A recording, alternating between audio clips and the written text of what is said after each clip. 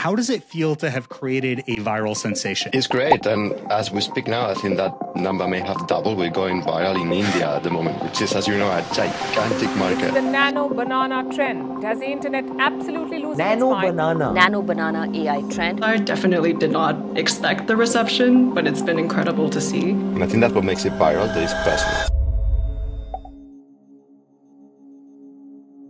I am Benigno Uria. I'm a scientist at DeepMind, and I work on generating images. I'm Yuqing Du. I also work on generating images and at some point video as well. The most viral thing at the moment is this this figurine prompt. I don't know if you've seen it, where people make a figurine of themselves Yeah. and they put themselves on the screen and on the box. And And there's a 3D me that- program in the back. Yeah, yeah. I mean, uh, we never expected that to go viral, right? Because the model is really good at like character consistency. So we expected people to change their clothes or make themselves look like they are in the 80s or something. But someone explained to me that the best thing about that is that you see yourself three times in the picture, and that's why it's gone viral. So we should do more of those. It's really wild. I mean, y'all are basically taking what was like a crazy multi-node ComfyUI workflow with like LoRa fine tuning and making it like a text prompt or a couple of image references. And that's absolutely wild. I'm kind of curious, despite that power, why did you not think it would go viral? The really nice thing about this model that I've also really appreciated is, is that it makes all of these processes really accessible to the general user. Like going through all these steps of um, maybe modifying an image that you have or putting together, like stitching together creative ideas that you may have. Um, and rather than going through all of these different processes or models that may have been harder to access in the past if you don't know how to play around with these like open source models and so on, now it's a lot more accessible. And I think that really speaks to maybe why it went viral as well. Somebody was putting a picture from Google Earth with an arrow and was saying like, what can I see from there? It, does it, right? But then there was this other one where people were combining San Francisco on one side and New York, and that obviously doesn't exist, right? They are not together on the map. And an arrow, and then it generates an image that is like the skyline of New York, but you can see in front Alcatraz. So it was like, okay, that's generalization. That's amazing. Like you prompted with an image, generalizes. That's for sure not in the data set. The thing for me, and I, I think I guess this is also, also something that's been really emphasized in the model, has been the consistency or character consistency that we've seen. Once the model has enough world knowledge and understanding to carry out these tasks, it really is able to fill in these different gaps that maybe you wouldn't have expected from the beginning. So the point that you were making about like consistency across different angles and so on, once the model has seen enough data and has been given enough world knowledge, you can imagine if I ask for say the back of someone's head, you're not going to imagine that there's going to be like a waterfall coming out of someone's head or something implausible. There's some set of images that are reasonable, you know, based on what we think is common sense and what we've seen in the world. And at that scale, that's what the model is able to produce. Like you can ask Gemini to tell you a story and, and just generate an image after each paragraph. For example, I like creating biographies of people like historical figures, like different philosophers. And I tell you, okay, tell me the story of John Locke's life. And after each paragraph, make a picture in the style of an anime. And you can get like 15 pictures, you know, with, I feel like our users haven't really like found that yet. And I hope they will because it's super cool. It opens a lot of extra uh, use cases. I've tried it more for like thumbnail generation. Here's like the idea for a video, come up with a bunch of thumbnail ideas, and it would give me A, B, C, and D, and then be able to like compare it to. Take us back to developing the models. Is there a moment in testing that really surprised you? The, the first photo I had at hand was uh, an old photo of, of me in black and white. And I was like, okay, take this photo black and white. Now colorize it. Now increase the resolution. And I was getting an image after another. And then, okay, zoom out. And it was making it like imputing everything that was around me, like the, the, the table with food that was not actually there, it was not visible. I was like, wow, this is a very impressive model. Sometimes a, a bit strange that, for example, it gave me blue eyes, right? Because it was a, a black and white photo. And it was a bit too generous with the muscles when I zoomed out. I was like, okay, maybe maybe we train it on to, to good looking people. You know, on that note, it's funny. I took uh, one of my grandparents' photos, similarly black and white, and my grandpa used to be in the army and so he's like in an army uniform and that was reconstructed beautifully. The colors were right. And then my grandma was like no i wasn't wearing a white sari. I was wearing a light pink one. And of course i just told the model huh you know make it a light pink one. And they were both kind of blown away by mm-hmm. how good of a reconstruction it was. Humans are visual animals right? Like we we can ingest information a lot faster by looking at an image than by reading text. So the other day i was here in new york. I arrived. It was just pouring down. I asked Gemini, what can I do on a Sunday in New York in a rainy day? And it just output a wall of text, and I didn't feel like reading it. So I just told it, okay, make an infographic with it. and it gave me a really beautiful infographic telling me, okay, just go to the Met and do this, do that, then go to Katz to have, uh, you know, a pastrami sandwich. And yeah, it was really good. I could just absorb it in five seconds instead of having to read. I think what this model has scratched the surface of, and that I feel pretty excited about, but maybe we're not there yet, is how useful the model could be for this type of interleaved or conversational use case, especially as a tool for people. Like I think the fact that, you know, the model already Gemini had this image and text understanding, but the fact that now the model also has this high dimensional output space of images, I think really uh, maybe opens a door for interesting human AI interaction. And what I mean by this is like, okay, maybe I'm I have like a knowledge seeking, information seeking query or something like that for something that's better expressed as a diagram or an image. And now the mm. model can actually decide, hey, to explain this concept rather than giving you, you know, all of this text or like all of this code, here's a diagram that maybe better illustrates the point that I'm trying to get at. Or like this is a bit of a like a a stupid use case, but I think the visual understanding and the image output could be really useful for cases like I recently moved into a new flat. We have this thermostat that's actually impossible to use because the UI is so new age and fancy that it has like a bunch of touch screens and a bunch of different buttons, but it's not really clear like how to actually do the simplest thing of changing the temperature. And so what I do now is like I take a photo, yeah, I send this to the chatbot and say like, hey, what what is this model? Like where do I find the instructions for this? And maybe it outputs some text telling me like some step-by-step instructions. But what might be really nice is something more similar to a WikiHow article, like, hey, you have this thing, yeah. press this thing. Here's an illustration of what the next screen could look like. Now press this other thing.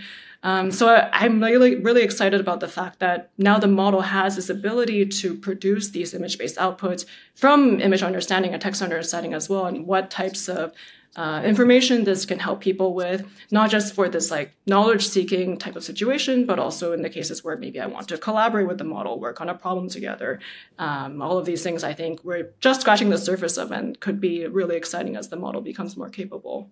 That is very exciting. Yeah, like uh, uh yeah, step by step instructions too. Yeah, really cool infographics, mm. uh, charts and diagrams. Like, oh, this thing. I would assume it's like an Edward Tufte expert, and will make like the best possible visualizations that you could imagine. Now you can have them be done on demand. There's a lot of debates on X or Twitter happening these days around like evals. How do you evaluate these models? How much of it is like taste? And it seems like a bit of an art and a science and dare I say, even a bit of a dark art? Like, what are y'all's stance on evals and how do y'all evaluate this model? Like what Benny was saying about the different categories is that it is possible to disentangle some of these things that are like easier to measure versus things that are harder to measure. Uh, for example, you can think about some things that are easier to measure, like instruction following. Uh, like if I ask the you know model to add a hat on top of my head, but it actually doesn't do that, that's a failure clearly. Um, but there are also other categories of things that are harder to measure, like what Benny was saying about taste or aesthetics and so on. Sometimes we see that human evaluators like images that look AI generated. So they have this like plasticky type of look to them, maybe like shiny and oversaturated. We definitely we don't we don't want to release those models because it's it's kind of a like um, a look that is passe by now, right? Like maybe two years ago, it was cool to generate images that look AI generated, but we definitely don't want them to look AI generated now. So, but surprisingly, human evaluators on, on the usual platforms often prefer those images to images that look more photorealistic how do y'all think this is going to change storytelling? The thing that's been stuck in my head is like, holy shit, what if everyone's like pretty damn good intermediate to advanced Photoshop user now? Like, you know, both of you have any uh, predictions about, you know, the implications of this tech as we go get past the, oh my God, I can put myself in, you know, a bunch of cool scenario stages and really understand the power in people's hands now? models like Nano Banana can be more useful as like collaborative tools for artists. Um, so unlike you know a standalone like text to image model, which does a lot of the work for you, I think what's really nice about the fact that we now have this you know uh, native image generation and image in the context is that now it can be seen as more of a collaborative partner. So one thing I was doing recently was like and it's not really a you know super intelligent use case but one that might be useful for creatives. Is like i'd like to take notes or like draw and sketch on paper but it ends up being really annoying to have to like digitize this for the next step of my process because i have to find a scanner and then maybe use some like image editing software to clean up the scan and so on. And now Nano Banana is really able to like take this, you know, iPhone camera photo that I've taken and transform it to a, another stage where I can carry on with the rest of my creative process.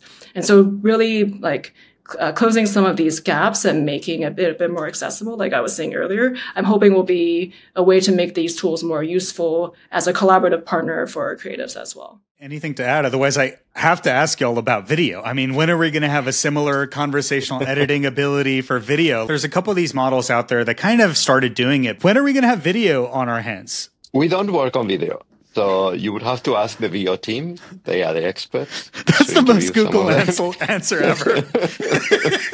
but obviously, we want, as I said before, right? We want to cover all modalities, and the future right. is a single uh, entry point for mm. everything. Mm. Nano Banana is is pretty good. I would say it's state of the art, but it's not perfect yet. That's something I always tell people. Like it has to be perfect. Being ninety nine percent correct at text rendering is not enough. Like text is either correct or incorrect. It doesn't matter if there's one extra letter or one letter missing. It has to be hundred percent. And that's something that may be coming. Mm. Long text rendering we care a lot about feedback. So as people stumble across like failure modes or interesting use cases, these are all things that we're paying attention to and really excited and eager to learn from. Any speculation for how the tech you're building fits into, you know, AR glasses, VR in the future? Any thoughts there? Completely untethered from the roadmap. Gemini's original goal is, is to be the best model for any modality, right? Like to be able to input and output right. any modality from the start. That was the North Star of Gemini and we're hoping to see this uh, transfer, we call, from different modalities, both in understanding and generation. Because there's only so much data out there, so you can get more data if you combine all modalities than if you just use text. We are getting to the point, you know, like these models are so big and they use so much training data that you have to struggle to find more data. So we're hoping that by combining all these modalities, we will see transfer. But it's not something that we have focused for this version of the model but maybe I cannot reveal more. Mm. Yeah, a multimodal in and out. That yeah. is the dream. I, I, saw a video from you, Bilal, where you were predicting that all media would be generated in the future. It would be not like 3D rendered or right. And I think at some point that may happen. Yeah. So all virtual experience will be generated maybe at some point. Definitely we could I think better photorealism than with with the standard graphic rendering pipelines of the past. Uh, I think it would require a lot of compute. So um, either we make the model cheaper or, or we wait for the for the GPUs to get there. But it may, it may be coming. I would say that Nano Banana is just the beginning, and that Let's more go. exciting things are coming. and the future is going to be amazing. And I have to ask about the name. What is the story behind the name Nano Banana? Our product manager, uh, Nina, I think people call her Nana, um, Banana. Uh, so she had to come up with a name at, at, like 2 a.m. in the morning for putting the model on LM Arena. She came up with it, and yeah, it went viral. And, and now, you know, people in marketing are studying like what was the success behind this naming? We have to learn from this experience. Reproduce the sauce. That's amazing. And the fact yeah. that y'all changed it in the gemini app too to put the little banana icons just chef's kiss. Congrats on all the success. I can't wait to see what modalities and capabilities y'all unlock next. Um, thank you so much for your time and really appreciate you uh, joining me today. Thank you so much yeah, thanks for having us